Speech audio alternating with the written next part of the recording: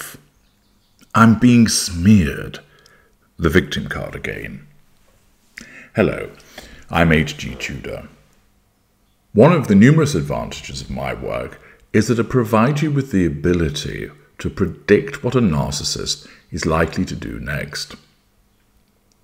By accessing my detailed work through blog articles and I dissect the behaviors of the different subschools of narcissist to enable the dynamic that occurs between the narcissist and certain appliances within the fuel matrix, with variations taken into account for the particular sub school.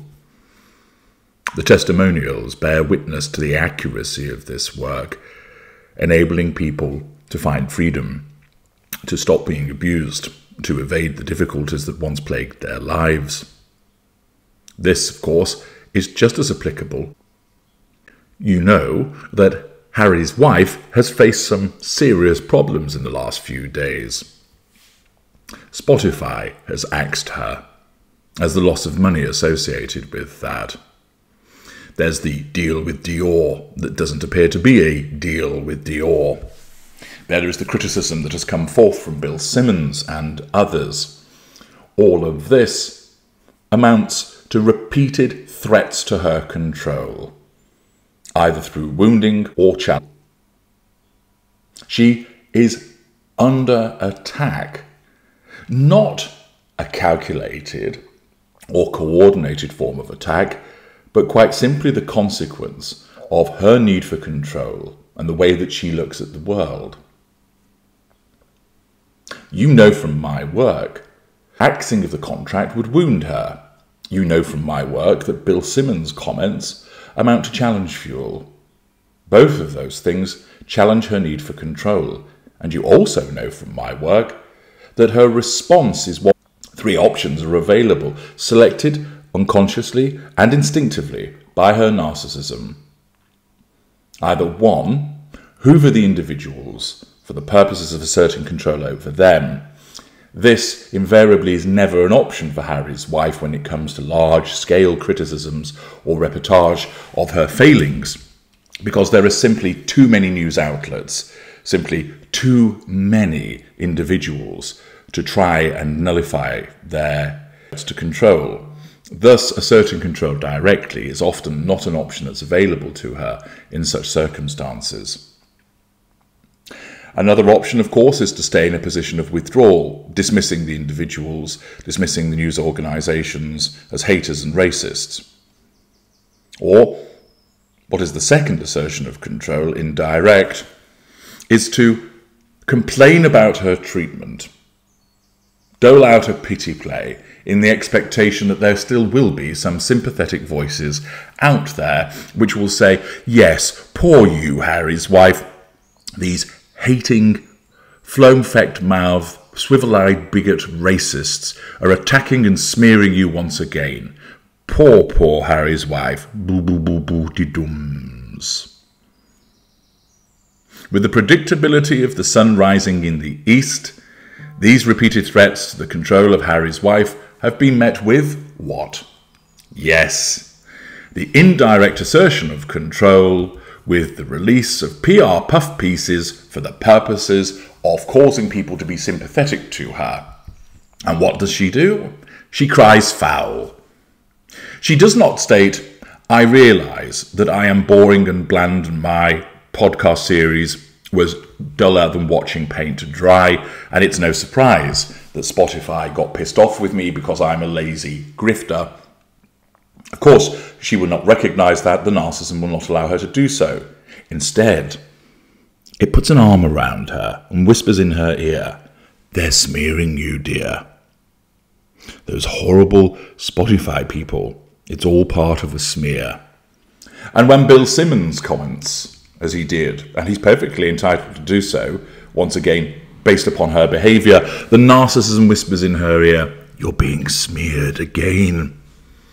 And when there are all the various comments about the Dior deal that never was, again, the paranoia links up and the narcissism whispers in her ear, see, it's all part of this smear campaign against you.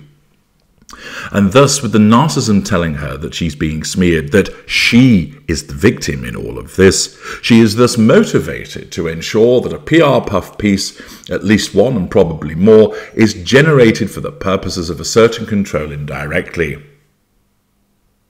And lo and behold, what occurs?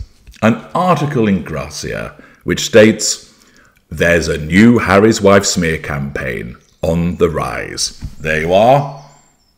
As my work predicts, she faces threats to control, she seeks to nullify the control. It's done through an indirect assertion of control, issuing a PR puff piece alleging that she's the victim. She's the victim of a smear campaign. This is not a smear campaign. Bill Simmons hasn't got together with the other executives at Spotify and the editors of newspapers and the general public to say, hey, guess what, gang? Albeit, perhaps it would have to be boomed out over a public control creating in stadiums around the world if there was such a conspiracy. Let's get together and smear Harry's wife. It isn't a smear campaign. What it is, is the reaction once again to her behaviour. The reaction minded individuals see that she has fucked up and commented as such. And many revel in her misfortune because they simply don't like her as a consequence of her grifting ways, her pity plays, her smearing of other people, her nastiness, and they sense justice at long last. But Harry's wife can't appreciate any of that as a narcissist. Oh, no, no, no. Instead, Poor me, I'm being smeared. And thus Grazia runs to her aid by telling us there's a new Harry's Wife smear campaign on the rise. Georgia Aspinall writes They say bad things come in threes, but for Harry's wife, that feels less of a superstitious happening and more of a targeted attack. This morning, following the news that she and Prince Harry had parted ways with Spotify, it was reported that Harry's wife's heavily rumoured deal with Dior is not happening, and at the same time, she's being torn apart for apparently faking interviews on her Archetypes podcast. Thus, in the first paragraph, the recent threats to control are all being attacked as part of trying to nullify them.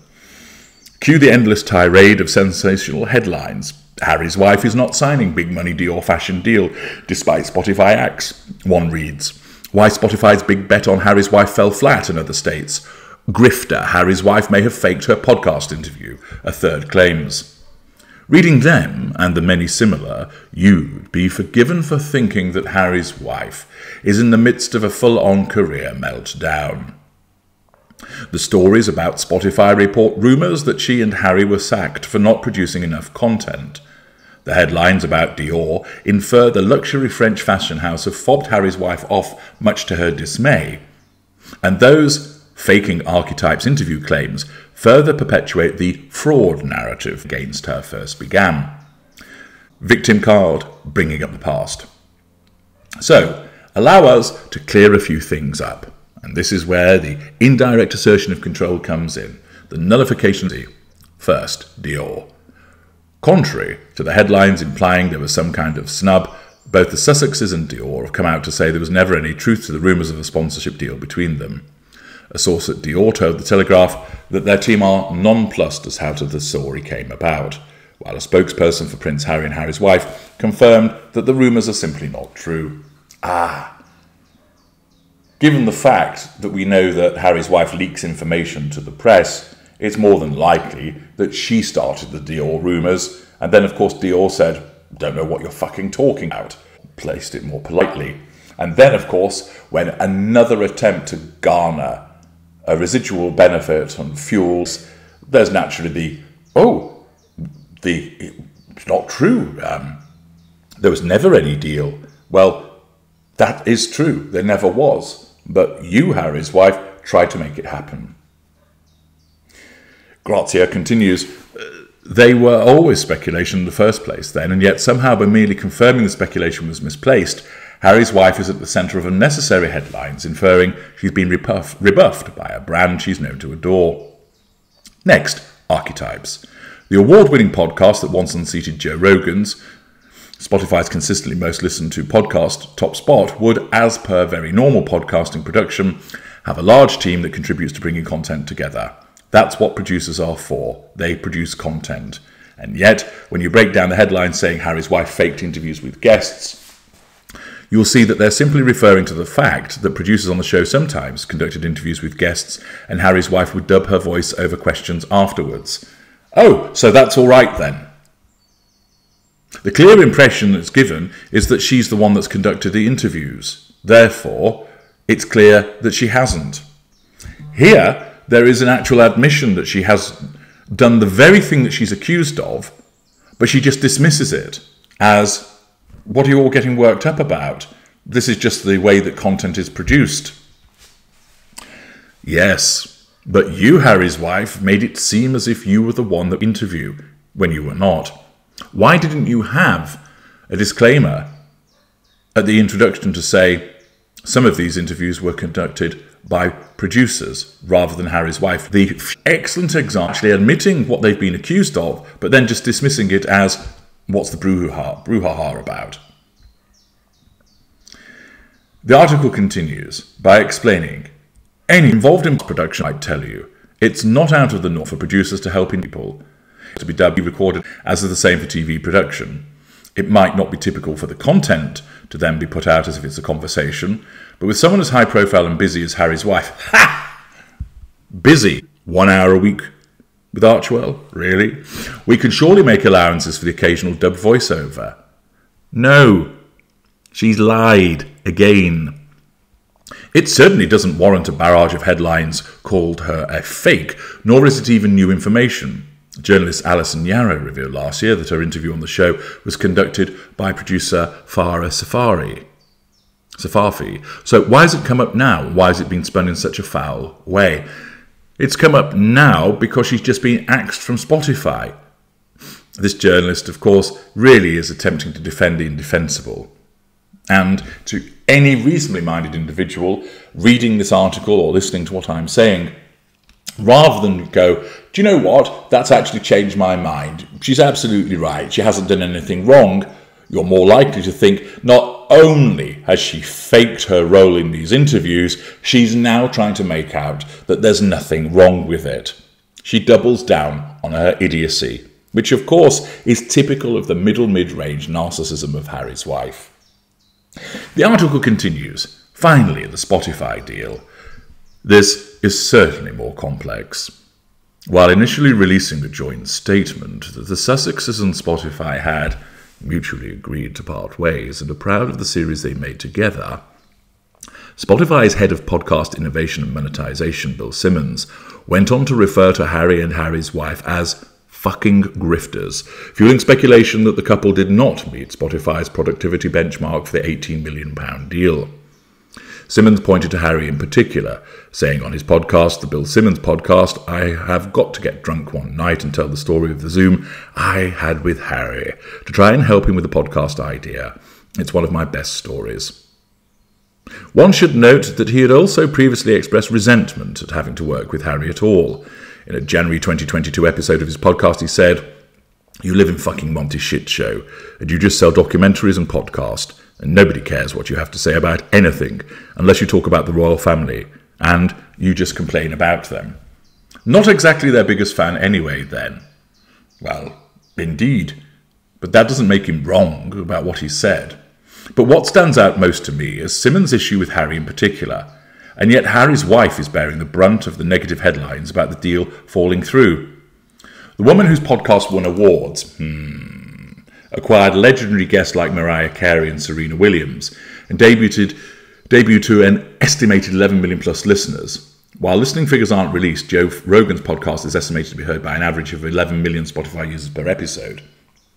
And Archetypes threw him off the top podcast spot on Spotify just two days after the first episode dropped. Yes, but we all know why people were listening in as a grudge listen. It seems unfair. Oh dear. Poor, poor Harry's wife. It's all so unfair. It seems unfair that Harry's wife's work is being criticised when the Duchess created one of the most listened to podcasts across the entire streaming platform. Few stories also mentioned the many other reasons the Sussexes could have parted ways with Spotify, including the suggestion by some experts that Harry and Harry's wife are following in Barack and Michelle Obama's footsteps, who ended their contract with Spotify last week allegedly last year, allegedly due to the exclusivity element of the contract. They didn't want their podcast to only be available on Spotify. Yes, we know what exclusivity means, thank you very much. Of course, what this is, is Harry's wife again suggesting that she is like the Obamas, character trait acquisition, and claiming that it's unfair to be criticised. What this also doesn't do is talk about how those listeners soon dropped off once the grudge listeners had had their fill of laughing at her. The article continues by explaining the Obamas certainly didn't face the same level of scrutiny when they parted ways with Spotify. Rather, headlines imply the complete opposite power dynamic that the Obamas were the ones doing the ditching as opposed to the other way around. Well, you know why that is? Grazia, it's because the Obamas are not as disliked as Harry's wife. Why is Harry's wife disliked? Because of the way she behaves. Grazia then asks, why is it then that whenever the Sussexes make a business move or announce new work, the headlines are always skewed in such a negative light? because people don't like them. It's not rocket science. And more importantly, why is it always implied that Harry's wife is someone somehow to blame or the one who's been snubbed? Because she lies, because of the way that she behaves, because she is a narcissist that causes problems. That's why she is to blame. The most recent batch of three stories have all the marks of yet another smear campaign towards the mother of two. No, they are simply detailing what has happened. From court cases with tabloids to Netflix documentaries about their decision to step back as senior royals and flee Britain, it is worth noting that the couple have gone to great length to demonstrate the emotional impact of this kind of relentless negativity and the endless attempts to make Harry's wife seem manipulative or fraudulent. Not to make her seem, not to make her seem, she is the negativity is because, and this journalist may know this but still has to write this because it's a PR piece for the Sussexes. She is a narcissist. Harry is a victim and now a willing volunteer that has entered into the awful shared fantasy. There is legion evidence that demonstrates that she's a liar, that she's manipulative, that she revises history, that she smears, that she plays the race card, that she plays the victim card, that it's never her fault, that it's always somebody else's fault. There is a legion of evidence that demonstrates she, she is a talentless nobody who has only appeared on people's radars as a consequence of the man that she married. There is legion evidence that demonstrates that she says things and never follows them up with action. There is a legion of evidence that shows her opportunism driven by her narcissism. To pose these questions as Grazia does simply demonstrates with huge transparency that this is a put up job in an attempt to try and negate the threats to control posed by recent events. Rather than stay quiet and shut up and ride it out, Instead, Harry's wife, bristling in Montecito, how dare these people talk about me this way, presses the button for the relevant supine publication to put out a puff piece in order to defend her. And all it does is make it worse. Because there is no defence. The only defence that's being run is it's not her fault, you're all nasty. It's not her fault, you're smearing her. And yet, there is no evidence to support that. Not only do people see the failure and her culpability in that regard, but then to try and suggest it's not my fault I'm being picked on is not only the weary excuse that she invariably trots out, but it has no foundation in fact. And thus, Harry's wife once again demonstrates, with the usual predictability, the threats to control that have occurred, her need to nullify those threats to control, and also the way that she does so in a manner which enables us to see her narcissism writ large, and that the credibility that she believes that she has simply does not exist. Once again, she cries foul, claiming that she is being smeared, and plays the victim card once again. I'm H.G. Tudor. Thank you for listening.